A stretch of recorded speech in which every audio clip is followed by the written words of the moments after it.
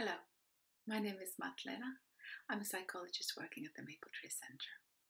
In this video, I will talk about working from home and home based learning.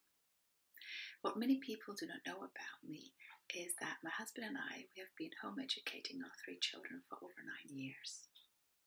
Home education is very different from home based learning, but there's a few things that I've learned over the years that might be helpful for you. What's really important to make this work is to work as a team with your spouse. You need to find ways to divide responsibilities that feels fair for both of you. What that division looks like, it's up to you and your spouse. The way my husband and I have created time for both of us to focus on work and making sure that the home life runs relatively smoothly and that the children's education is supervised is by dividing the tasks by days.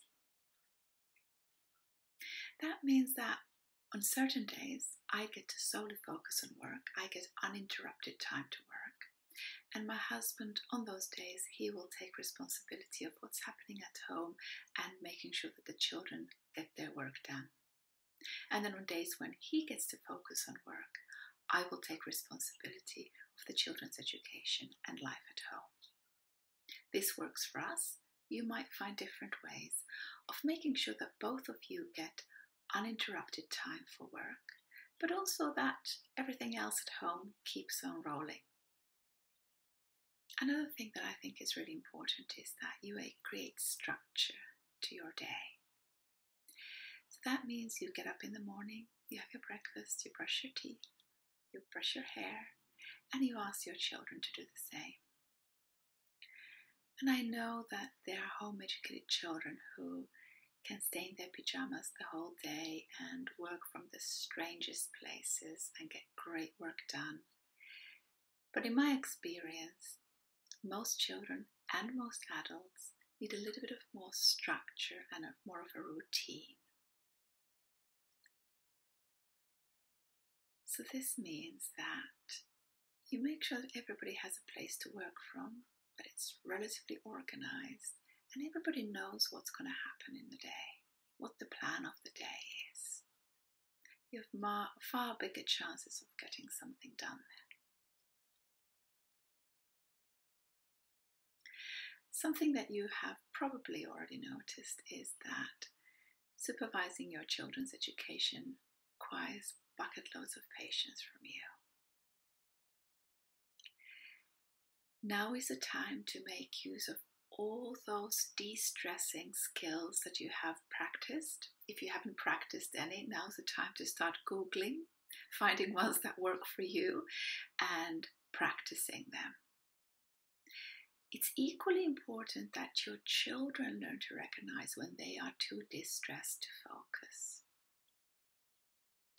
So, helping your children realize when they are in a place that they can get their work done and when they are too stressed or upset to focus is really an important skill to learn in life. And teaching your children ways to de stress is equally important. It's what to do on those days when nothing has gone right and you don't really see things getting any better. That's when you need to have a ritual that helps you stop action, repair whatever has happened, and restart the day from a clean slate. So, when my children were younger, I would use the 10 o'clock snack time as an opportunity to stop, relax, and restart. So I would prepare a snack, call the children downstairs. While they were eating, I would read a book. We would often also talk about the need to restart the day because it hadn't been a great one. And then, after we had nourished our mind, our body, and our soul, we would go back to work. So, think of a routine or a ritual that allows you to just pause for a while, allow everybody to calm down, and find some fun as well. So you could have that, you know, snack time when you relax, but you could also just play a board game or have a dance party. Do something that's fun and energizing. And then go back to work. Something that you may have noticed, and you might find it quite stressful, is that the younger your child is, the more they will need your presence as they're doing their work. This doesn't mean that you have to sit next to them the whole time, but you will need to regularly check on them, make sure they haven't drifted off, make sure that they're not stuck, and help them stay on track and complete their work. And this applies to teenagers as well. They will need your physical presence less, but it's important to, on a regular basis, check on them, find out what they're doing, and whether they need your support or not. If you leave a child on their own for long periods of time, chances are they will drift off and they're not going to be able to bring themselves back to task. What I would like to encourage you to do is to create a culture of appreciation instead of a culture of criticism. That means that you'll be focusing on what's going right instead of what's going wrong. So instead of noticing everything that your spouse or your child or you are doing wrong, start noticing what they are doing right.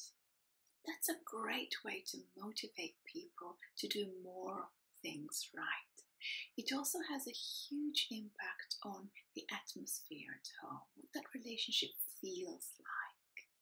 If we're constantly expecting criticism from our partner, our parent, or from ourselves, it's not really going to bring about positive energy. The last thing I would like to talk about is to make sure that education does not come in the way of the love in the family. Education is not the same as love of learning. And if you're noticing that your child's education is starting to erode the love that the two of you feel for each other, please rethink the education part, not the love part. In this video, I've only scratched the surface of everything I have learned about supporting your children's education at home. If you have any questions, I would love to answer them. Please email me at vanhanen at tmtcdubai.com. Stay safe and look after each other.